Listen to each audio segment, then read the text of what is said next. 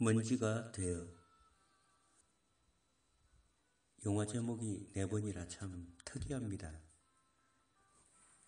이 영화는 남부 이탈리아의 산악지대인 칼라브리아에 사는 사람들의 이야기입니다.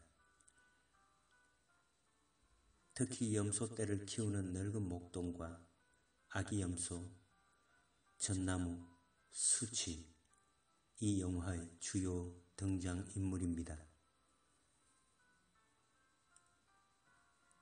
나는 이 영화에 등장하는 풍경과 계절의 변화, 시각적인 것보다 노인과 아기 염소의 일상, 그리고 지루한 듯 반복되는 하얀색 캔버스 그림 같은 시간 속에서 빨간색, 파란색, 청홍색 에피소드를 즐겼습니다.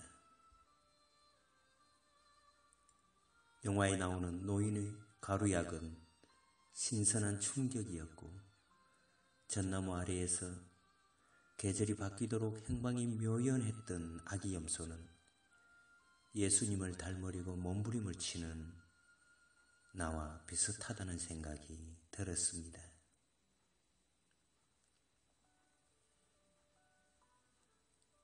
흰색 전나무 지팡이를 구부정하게 쥐고 허리를 제대로 펴지 못하는 노인이 마른 기침을 하면서 전나무 숲을 오릅니다. 염소떼를 따라가는 양치기 개도 염소떼와 노인을 번갈아 보면서 숲을 뛰어다닙니다. 저녁이 다 되도록 노인은 전나무 곁에서 지팡이와 함께 마을을 바라봅니다. 이 영화의 매력입니다. 바라봄. 바라본다는 것은 안식이며 평화이며 평강입니다. 인내이며 용서입니다. 사랑이며 간절함입니다. 애통이며 소망이 바라봄에 대한 내가 할 수 있는 가능한 표현들입니다. 노인이 마른 기침을 하면서 전나무에 기대어 바라봄은 세월을 녹이는 작업이며 시간을 충만케 하는 태고적 신비로움이었습니다. 들리는 것은 노인의 마른 기침을 닮은 염소떼 우는 소리와 새소리, 바람이 풀잎을 스치며 지나가는 소리, 그리고 전나무가 있었습니다.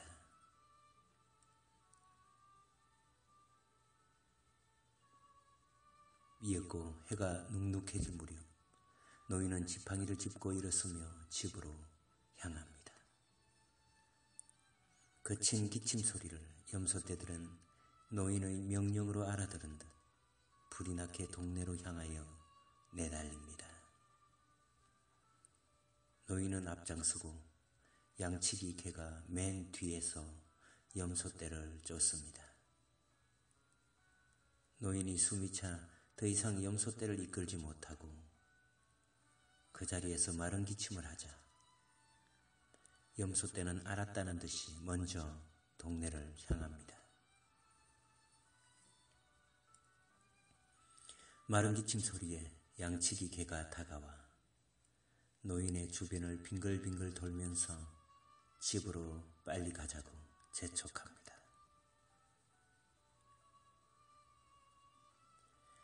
집에 도착한 노인은 낡은 침대가 있는 2층으로 올라가서 잠옷으로 갈아입고 작은 식탁 위에 놓인 물병과 신문지로 싼 무엇인가를 펼칩니다. 수전증이 심한 노인의 손은 신문지를 한꺼풀 벗기다 말고 침대 위로 가서 걸터 앉습니다. 연신 마른 기침을 하면서 다시 떨리는 손으로 꼬깃꼬깃한 신문지를 펼칩니다. 펼쳐진 신문지 안에는 가루약 같은 것이 있습니다. 노인은 작은 식탁 위에 놓인 물병을 잔에 기울고 물을 한가득 따라 그 가루약을 입에 털어 넣었습니다. 가루약을 먹기 전까지는 왠지 불안하고 창백했던 노인은 그 가루약을 털어놓고는 침대로 가서 평온한 듯 눈을 감았습니다. 이 영화를 중간쯤 보다가 알게 되었지만 이 가루약의 정체는 교회, 즉 천주교 성당의 먼지였습니다. 교회 바닥을 청소하면서 나오는 먼지를 썰어서 모아두면 노인은 염소 젖을 가지고 가서 이 먼지와 바꾸었습니다. 나는 이런 상황을 바라보면서 노인의 신앙심이 대단하다는 생각보다는 현대 기독교인들의 정체성에 대한 내면을 심도 있게 들여다볼 수 있었습니다. 교회에서 나오는 것은 무조건 선하고 신비롭다는 천주교식 발상일 수도 있지만 미켈란젤로 프라마르티 감독은 분명 다른 메시지를 우리에게 전하고 있었습니다.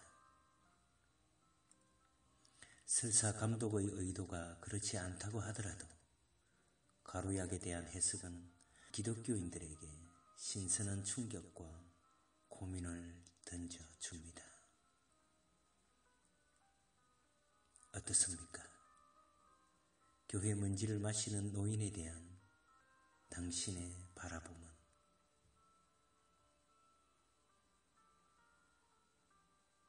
이 글을 읽는 모든 그리스도인 또는 비기독교인들에게 대답을 원합니다.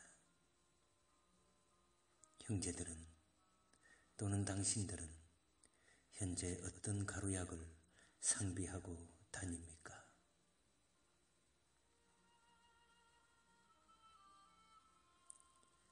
다음 날도 노인은 전나무 숲을 오릅니다. 염소떼들은 한가로이 풀을 뜯고 누렇게 가을색으로 옷 입은 풀잎들 사이로 앙증맞은 바위들이 서로 자리를 바꿔가며 자연을 노래합니다. 그 자연의 먼지처럼 녹아져가는 노인과 양치기 개가 아무런 말도 없이 마을을 바라보고 있습니다. 마을은 노인을 바라보고 전나무는 마을과 노인을 번갈아 쳐다봅니다. 마을 위에 섰던 흰 구름은 말없이 전나무가 손짓하는 숲으로 달려오고 염소 때는 구름과 함께 해 그림자를 피해 햇살 좋은 곳으로 걸음을 뗍니다. 풀잎이 바람에 스치는 소리가 참 좋습니다. 내 마음도 전나무 숲으로 달려가 그곳에 누웠습니다. 노인을 바라보며 입술을 움직이려다 이내 침묵하고 말았습니다. 바라보면 침묵이며 그 응시하는 소리가 필요 없는 대화였습니다. 전나무 곁에서 스치는 바람을 바라보는 노인의 얼굴에는 하얀 수염이 구레나루를 덮었고 코밑과 턱밑을 가득 채웠습니다. 짧은 흰 수염을 가진 그 노인은 영화가 끝날 때까지 전나무 곁을 지켰고 나도 전나무 곁을 떠나지 않았습니다. 우리는 아무 말도 하지 않았습니다. 노인은 혼자 살기 때문에 집이 클 필요가 없습니다.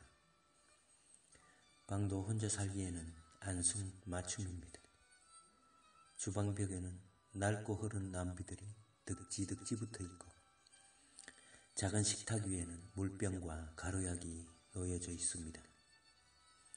노인은 가루약을 물이 가득 찬 컵에 넣고 수저로 저어서 마셨습니다. 그리고 불을 끄고 깊은 수면을 취했습니다. 고요한 밤이라 노인의 수면을 방해하는 것은 아무것도 없습니다. 더군다나 교회에 먼지까지 먹었으니 오늘 밤은 하나님이 내 속에 들어와 있지 않습니까? 죽음도 노인의 수면을 방해할 수가 없습니다. 교회 먼지가 노인에게는 면죄부였고 마리아의 혼이었고 십자가의 못자국이었습니다. 성경 한 권 없는 노인의 작은 방은 언제나 교회 먼지로 거룩하였고 노인은 그 자체로 천국을 살고 있었습니다. 다만 가루약이 떨어지지 않아야 하는 천국입니다. 어쩌면 인간이 의지할 수밖에 없는 그 무엇이 노인에게는 교회였고 교회를 의지해야 했던 노인에게 교회의 먼지조차도 의지의 대상일 수밖에 없었던 것입니다. 아침 되자 수철 파는 작은 트럭이 동네에 왔습니다. 동네 사람들은 하나둘씩 나타나 수철 사서 집으로 갑니다.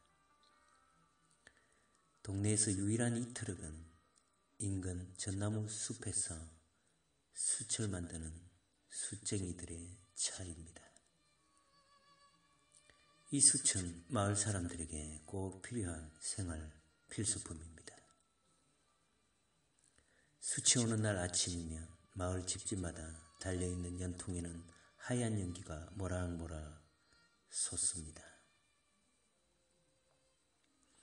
하얀 수염을 가진 노인이 앉아서 누런 풀잎을 바라봅니다. 오랫동안 바라보더니 눈가에 벌레 한 마리가 날아와 성가시게 하자 투박한 손으로 벌레를 쫓습니다.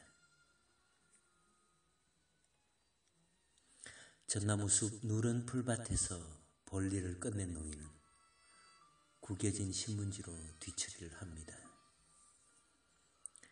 내가 보기에 이 신문지는 가루약을 쌌던 것이 분명한데 카메라 앵글이 뒤처리를 끝내고 돌아가는 노인에게 맞추는 것이 아니라 남겨진 신문지를 비추는 것을 보니 무엇인가 의도하는 바가 있는 것 같습니다.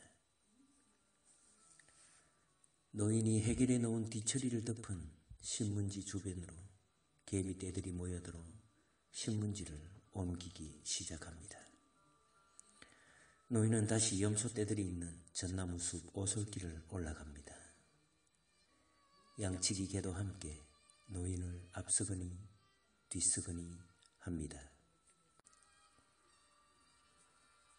집으로 돌아온 노인은 온 집안에 달팽이들이 돌아다니는 것을 목격합니다. 뚜껑이 어설픈 양동이에 달팽이들을 넣고 돌을 지그시 눌러 식탁 위에 올려두었는데 한쪽으로 기우뚱했던 돌이 양동이에서 떨어져 달팽이들이 기어서 나온 것입니다.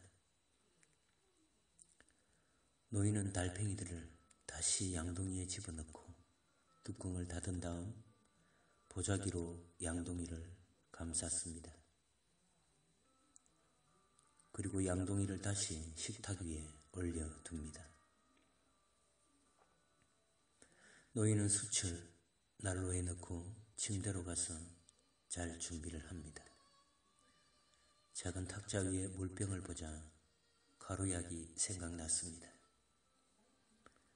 노인은 주머니 이곳 저곳을 뒤지며 약을 찾지만 보이지가 않습니다. 낮에 숲에서 볼일을 뒤처리하던 중 휴지로 사용했던 신문지와 함께 떨어진 것 같습니다. 노인은 얼굴이 사색이 되어서 네이만 입은 채 끈달린 구두를 신고 황급히 동네에 유일하게 하나 있는 교회를 찾아갑니다. 밤이 깊어 교회 문을 두드려도 열어주지 않습니다. 노인은 계속해서 안타까운 노크를 해보지만 교회 안에서는 인기척이 없습니다. 노인은 그렇게 밤새 교회 앞을 지키다가 집으로 돌아왔습니다. 노인이 돌아서자 교회 종소리가 작은 시골 동네에 울려 퍼졌습니다. 노인이 집으로 돌아가면서 교회 종소리를 듣고 어떤 감정을 느꼈을지 참못 궁금합니다. 아침이 되자 숯을 실은 트럭이 동네에 나타나고 같은 일상이 되풀이되는가 싶더니 교회로 들어가는 동네 입구에서 아래쪽으로 로마 군인 복장을 한 사람들이 내려오고 있습니다. 그리고 이어서 들리는 작은 북소리와 나팔소리. 로마 군인 복장을 한 사람들이 무리를 지어 십자가를 짊어진 사람을 중심으로 행렬을 이루고 있습니다. 이 행렬은 분명 예수님이 십자가를 진 채 골고다로 가는 것을 재현하는 것일 것입니다. 십자가를 끌고 가는 소리가 유난히 크게 들리는 것은 영화의 컨셉이 아니라 동네 자체에 인공적인 소음이 따로 없기 때문일 것입니다. 십자가 뒤로 동네 사람들이 모두 따라가고 양치기 개도 이들을 멀리서 뒤따르다가 다시 동네로 들어옵니다. 카메라는 사람들의 행렬을 따르다가 이내 양치기개를 쫓아갑니다. 행렬을 따르는 동네 사람들의 수는 4, 50명 정도로 간소해 보입니다. 양치기 개를 쫓는 카메라는 행렬에서 뒤처진 아이에게 앵글을 맞췄습니다. 양치기 개는 뒤처진 아이를 계속 쫓아가며 지저댑니다. 아이는 개를 피해 뒷걸음질을 치다가 간신히 개를 따돌리고 행렬을 향해 냅다 뛰어갑니다. 아이를 뒤쫓던 개는 다시 행렬이 나왔던 입구로 와서 아침에 행렬의식에 참가하기 위해 온 사람들이 세우던 트럭으로 달려갔습니다. 그리고 트럭을 경사면에 주차하기 위해 바퀴에 고정해 두었던 돌을 건드리는 바람에 트럭이 내리막으로 굴러가기 시작합니다. 트럭 가까이에는 가루약을 마시는 노인이 살고 있었고 염소 우리가 트럭이 내려오는 방향 정면에 있었습니다. 트럭은 순식간에 염소 우리의 울타리를 밀어젖혔고 놀란 염소 떼들은 동네 거리로 쏟아져 나왔습니다. 양치기개는 쏟아져 나온 염소 떼들을 향해 짖습니다. 염소 떼를 이리저리 몰며 짖어보지만 양치기개도 손쓸 방법이 없는 듯 멍하니 염소 떼들을 지켜보고 있습니다.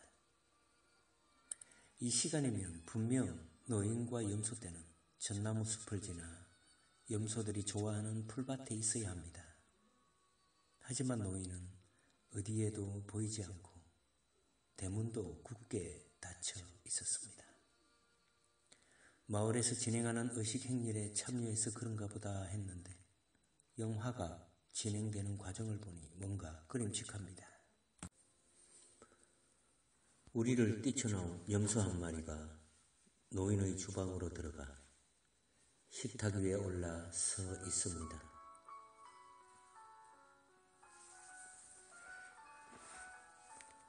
보자기로 감싸둔 양동이가 궁금했는지 염소는 양동이를 머리에 달린 뿔로 식탁 끝으로 툭툭 밀더니 결국은 아래로 떨어뜨리고 말았습니다.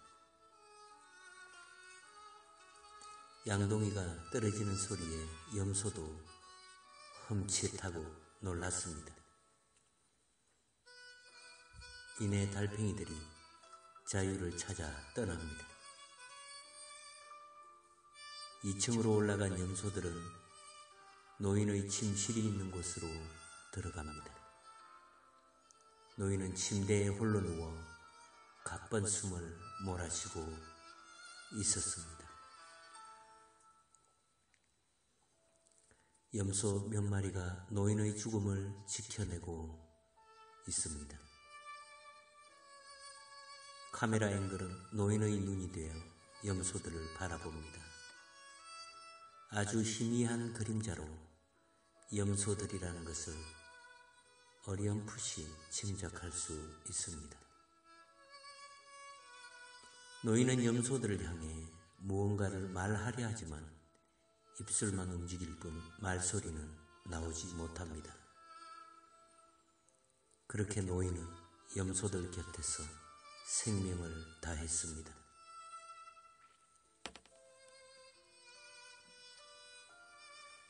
전날 밤 없어진 교회 먼지 때문에 갈등하다가 교회를 찾아갔는데 교회 문을 열어주지 않는 바람에 찬바람을 너무 오래 쐰 것 같습니다. 노인에게 교회 문제는 곧 신앙이었고 자신을 지탱하게 하는 생명이었습니다. 밤마다 찾아오는 노환을 이기게 해주는 유일한 통로가 교회 먼지, 즉 가루약이었습니다. 가루약을 먹고 잠이 들어야 하루가 끝나는 것이었고 다음 날을 충전하는 시간이 될 수 있었습니다.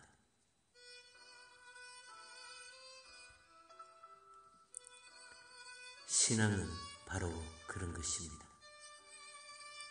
의지할 수 있는 바, 자신의 신앙을 온전히 붙잡고 살아갈 때 삶은 온전하게 유지될 수 있습니다. 가루약이 떨어지거나 없어지면 하시라도 지체 말고 신앙의 원천을 찾아 달려가야 합니다. 비록 교회 문이 열리지 않아 다소 실망스러웠지만 노인은 마지막까지 최선을 다했습니다. 그리고 다시 자기 자리로 돌아와 모든 것을 하늘에 맡겼습니다. 평소 함께 희노애락을 누리던 염소들도 노인의 죽음 앞에서는 속수무책이었고 노인은 죽음을 오롯이 홀로 감당해야 했습니다. 인간은 죽음을 절대 피할 수 없습니다. 노인의 죽음을 보면서 나는 전나무의 푸른 기상을 느낄 수 있었고 숲속에 풀잎에 스치는 바람을 만질 수 있었습니다. 죽음은 자연이며 받아들이는 의지가 아니라 그냥 그대로 두는 것입니다. 지금 우리는 죽음들 앞에서 너무 많은 말을 합니다. 그대로 두지를 못하고 죽음을 다시 죽이고 해체해 버립니다. 자연으로 돌아갈 수 있도록 배려하는 것이 아니라 오히려 남은 자들의 욕망의 장식이 됩니다. 나는 노인의 죽음이 부러웠습니다. 시간이 흐르고 노인의 죽음이 마을 사람들에게 발견되었습니다. 노인을 모신 관이 이층 노인의 침실에서 나오고 마을 사람 몇몇이 관을 어깨에 올리고 십자가 의식 행렬이 있었던 그 거리를 다시 행진합니다. 노인의 관은 마을 공동묘지인 석관식 동굴묘지에 안장되었습니다. 염소 한 마리가 검은 점이 군데군데 박힌 흰 염소를 출산했습니다.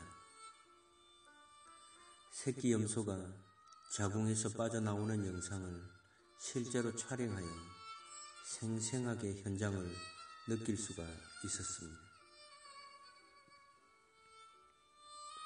흰 점박이 염소는 땅으로 떨어지자마자 일어서려고 양옆으로 네 개의 다리를 펼쳤습니다.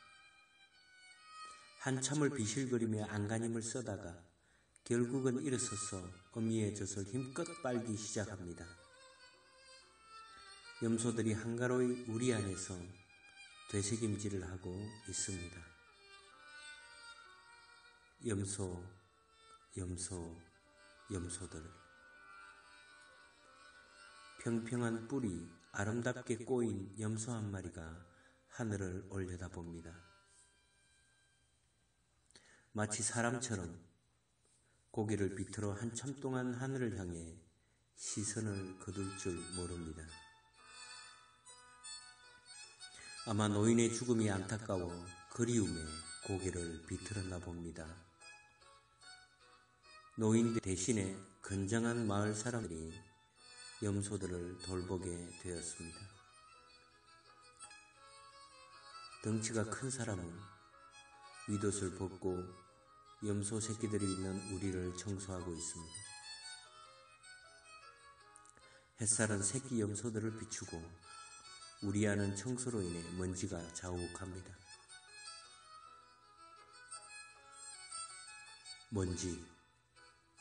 염소 우리 안에서 퍼치는 먼지와 교회의 먼지는 어떤 차이가 있을까요? 노인은 굳이 먼지를 마실 거라면 교회까지 찾아가 염소 우유를 주고서라도 먼지를 가져와야 했을까요? 염소 우리 안에도 먼지는 얼마든지 있고 노인이 사는 침실에도 먼지는 많지 않습니까? 왜 굳이 교회 먼지라야 했을까요? 햇살로 더욱 선명하게 비치는 염소 우리 안의 먼지와 영화 전반에 카메라가 교회에서 청소하면서 나오는 햇살에 비친 영롱한 먼지가 오브랩 되었습니다. 노인을 대신하여 염소들을 돌보게 된 사람은 노인처럼 염소떼를 끌고 전나무 숲으로 올라가고 우리 안에는 새끼 염소들만 남게 되었습니다. 흰 점박이 새끼 염소는 다른 새끼들보다 유난히 덩치가 큽니다. 청소를 끝내고 세우던 빗자루가 넘어져 큰 소리가 나자 새끼 염소들은 놀라서 혼비백살입니다. 우리 안에 중심에 세우던 모퉁이 돌 위에 좁은 공간에 올려진 벽돌 위에 올라가 서려고 새끼 염소들이 서로 아웅다웅 몸싸움이 한창입니다. 흰 점박이 새끼 염소가 이 자리를 차지하고야 맙니다.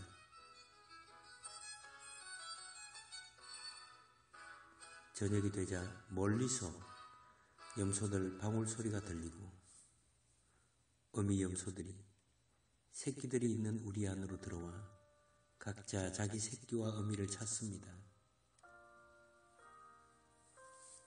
흰 점박이 새끼는 어미를 찾지 못하고 구석진 곳에 웅크리고 앉아 홀로 밤을 지셉니다.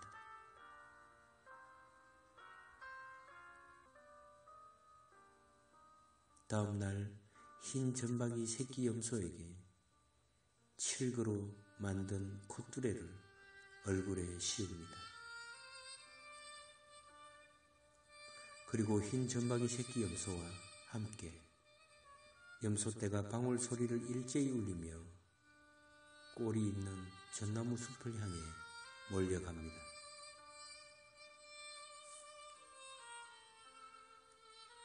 다리를 건너고 좁은 산길을 지나 산속으로 깊이 들어갑니다.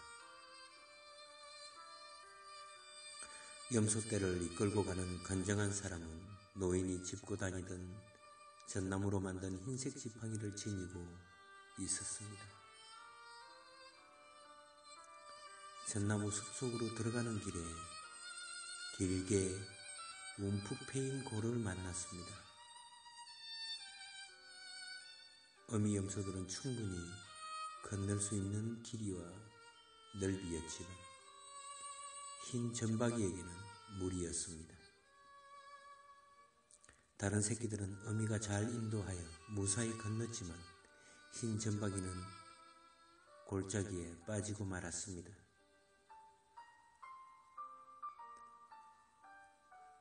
골짜기를 따라 한참을 걷던 새끼 염소는 낮은 고를 발견하고 올라서서 일행들을 찾지만 보이지 않습니다. 이미 일행은 멀리 가버렸고 흰 점박이는 일행을 부르는 애타는 소리만 목이 헐도록 울었습니다.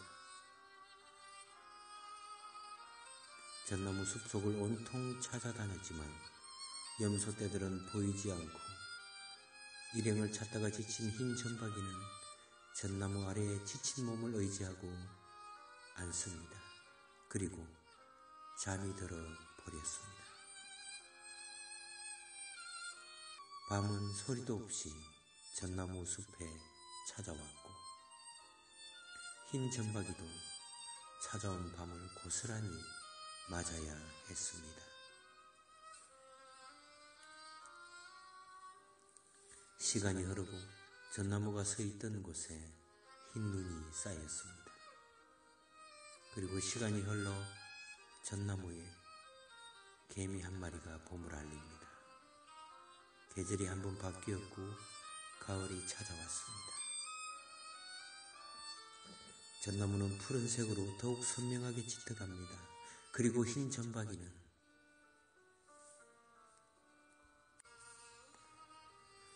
숲속에 기계톱 소리가 요란합니다. 잠시 후에 전나무가 기우뚱하더니 화면 왼쪽으로 넘어졌습니다.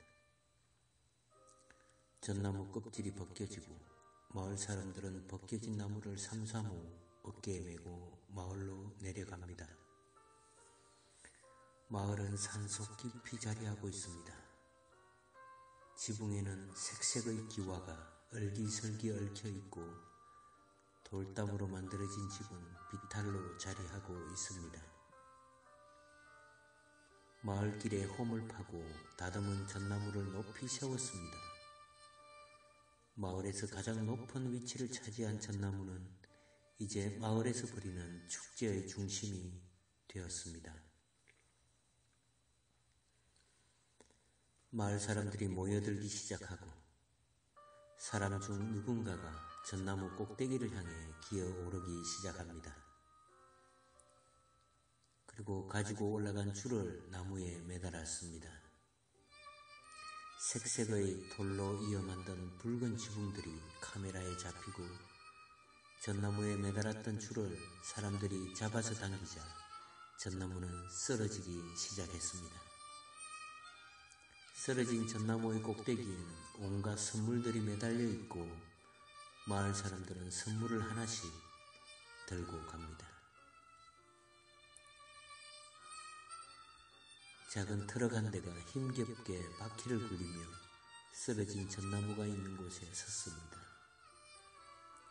사람들이 내리고 전나무를 옮기는 방법을 고민하다가 트럭에 싣기 좋은 길이로 자릅니다.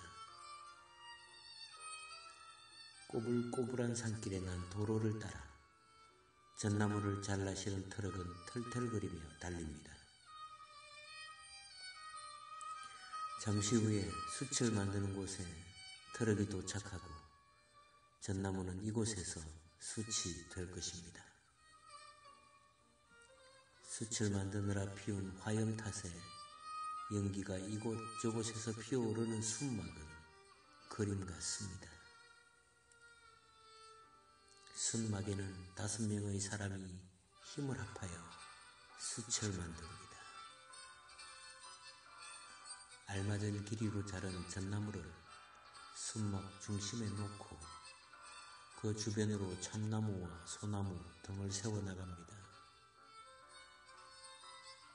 잠시 후에 순막은 둥그런 돔 형태로 만들어지는데 그 위로 볏집을 얹고 볏집 위로 다시 흙을 덮어 나갑니다. 그리고 불이 나무로 가득 채워진 순막 안에서부터 바깥으로 타 들어가도록 순막 지붕의 꼭대기를 헐고 불씨를 지핍니다. 순막 지붕 위에서 안으로 불씨를 여러 차례 던져놓고 불이 타기 시작하는 것을 확인한 후에 지붕을 덮습니다. 그리고 순막 주변을 천막으로 둘러치고 둥그런 순막에 일정한 간격으로 구멍을 뚫어 연기를 빼냅니다.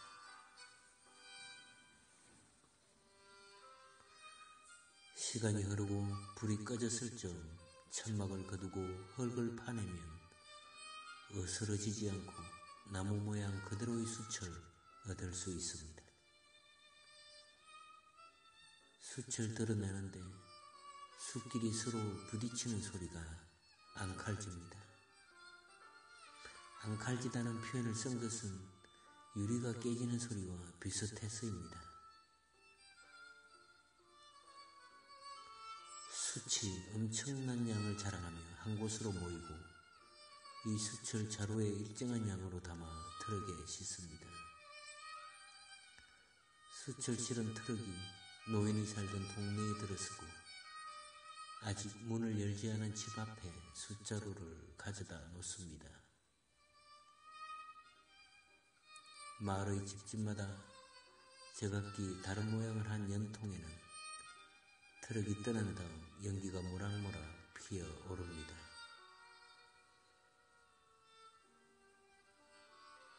전나무 아래에서 잠이 들었던 흰 점박이 새끼 염소와 노인의 향기가 색색이 펴진 기와 지붕 위로 뛰어다닙니다.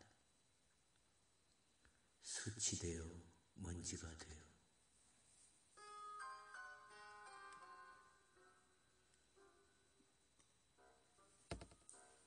흰 점박이 어린 염소는 예수 그리스도의 죽음을 닮았습니다. 어린 염소의 죽음은 마을 축제로 쓰여진 전나무의 걸음이 되었습니다. 잘 자라주기만을 기대했지만 전나무 아래에서 밤을 맞이한 흰 점박이 아기 염소는 그렇게 외롭게 죽었습니다. 그리고 사람들은 아기 염소의 죽음으로 자란 전나무를 잘라 축제를 벌입니다. 전나무에 걸린 선물들은 아기 염소가 마을 사람들에게 주는 사랑입니다. 전나무는 그렇게 잘라지고 태워져서 수초로 부활하였고 마을 사람들에게 따스한 생명이 되었습니다.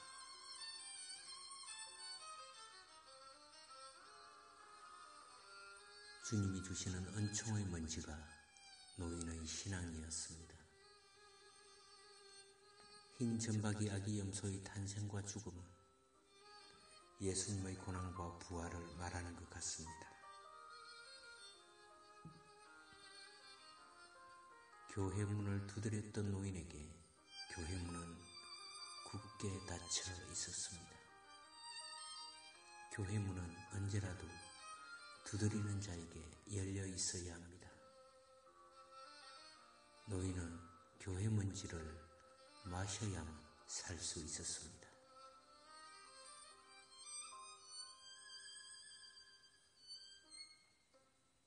우리는 수치되어야 합니다.